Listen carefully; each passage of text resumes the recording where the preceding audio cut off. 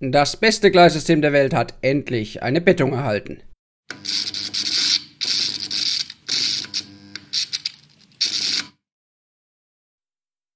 Ja, ich weiß, Vorsicht mit den Superlativen, aber für mich ist das Pico A-Gleis das Beste der Welt.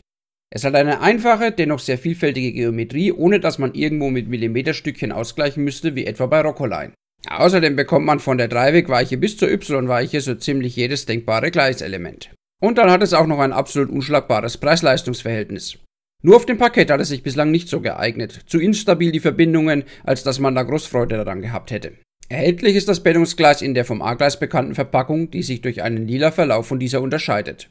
Identisch sind hingegen die Farbmarkierungen, beispielsweise grün für Weichen, blau für Bögen oder orange für die Geraden. Das Gleis selbst ist identisch mit dem ohne Bettung. Es verfügt also über feingravierte Holzschwellen, detailliert nachgebildete Kleineisen und eine Profilhöhe von 2,5 mm. Neben den labbrigen Bogenweichen einer der beiden Hauptkritikpunkte am Pico-Gleis. Da der Schienenkopf aber nur 0,8 mm breit ist, macht es dennoch einen sehr vorbildgerechten Eindruck. Den Kritikpunkt kann ich daher so nicht stehen lassen. Bei den Bogenweichen bin ich da schon eher bei den Kritikern.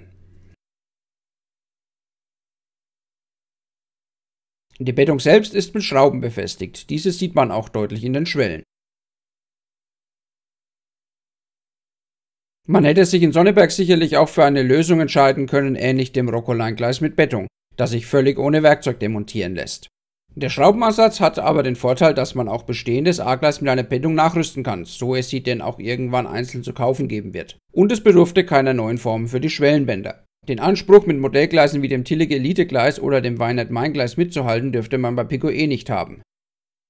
In Konkurrenz dürfte sich Pico eher zum Fleischmann Profi-Gleis, dem Trix C-Gleis und dem schon angesprochenen Rocco-Line-Gleis mit Bettung sehen. Und spätestens bei den Weichen ist die Stecklösung von Rocco kein Vorteil mehr. Während sich die Pico-Weiche komplett zerlegen lässt und man somit das Schotterbett farblich getrennt vom eigentlichen Gleis behandeln kann, ist bei der Rocco-Weiche spätestens beim angelöteten Herzstückpolarisierungskabel Schluss. Auch finde ich die in der Bettung des Tricksgleises vorgesehenen Vertiefungen für die Befestigung deutlich unschöner als die Schrauben in den Schwellen des Pico-Gleises. Und dem Fleischmann-Profi-Gleis fehlt es in meinen Augen am Böschungswinkel. Top sind die beiden hingegen bei den Schienenverbindern. Sowohl Fleischmann als auch Tricks ermöglichen einfaches Zusammenstecken, ohne dass man sich zu viele Gedanken darüber machen muss, ob die Schienenstöße plan aneinander liegen. Anders bei Pico. Die Schienenverbinder sind so schon eine Zumutung, jetzt muss man auch noch darauf achten, dass auch die Verbindung im Bettungsgleis sauber sitzt. Ähnliches gilt für Rocco, auch wenn hier die Verbindung in der Bettung aufgrund ihrer Ausführungsart mehr oder weniger automatisch mit einrastet. Aber sowas will man natürlich unter gar keinen Umständen haben. Wäre schön, wenn man sich bei Pico als nächstes die Schienenverbinder zur Brust nimmt und diese überarbeitet.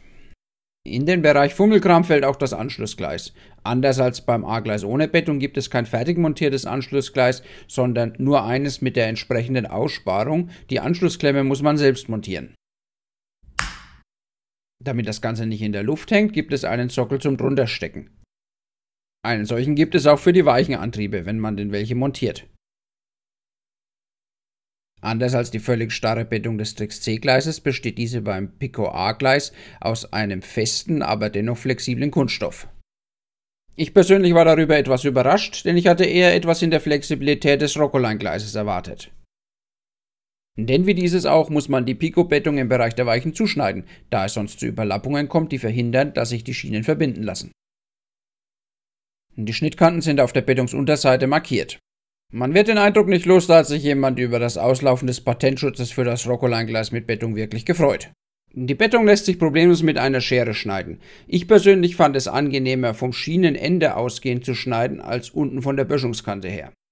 Pico hat mit der Bettung für das A-Gleis einen meiner Meinung nach längst überfälligen Schritt endlich getan. Das Gleissystem selbst überzeugt durch seine einfache, aber dennoch mächtige Geometrie und ist dadurch eigentlich prädestiniert für den fliegenden Aufbau auf dem Parkett oder auf dem Teppichboden. Dank der zusätzlichen Stabilität, die die Bettung dem Gleissystem verleiht, ist das nun endlich auch sinnvoll möglich. Und in Sachen Preis macht Pico da weiter, wo sie beim A-Gleis ohne Bettung aufgehört haben, am unteren Ende der Skala. Jetzt gilt es, die Anzahl der Gleiselemente auf den Stand des regulären A-Gleises zu heben. Denn derzeit gibt es lediglich die zwei kleinsten Radien R1 und R2, Weichen sowie Bogenweichen, den Ausgleichsradius zur Weiche und die Geraden. Derzeit entsteht ja hier, wie angedeutet, ein kleines Testareal aus diesem Gleissystem und demnächst machen wir auch mal wieder was mit Containern. Versprochen.